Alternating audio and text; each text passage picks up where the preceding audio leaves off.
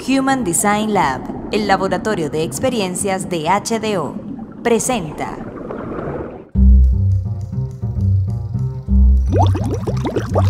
So, what is positive psychology? Do you want to improve your working culture, well being, and performance from positive psychology? Well, we believe you can obtain greater results through increased well being and a positive working culture. How do you want to do that?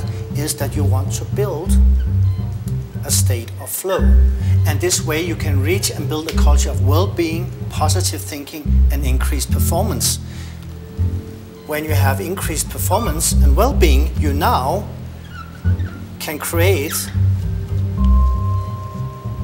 a culture where ideas happens. So when ideas happens, you now start creating the positive emotions.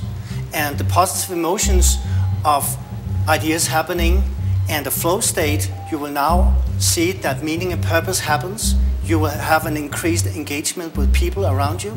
And you will also see that the accomplishments that now is happening will be greater and better. So we believe that the positive psychology will build a culture of great relationships.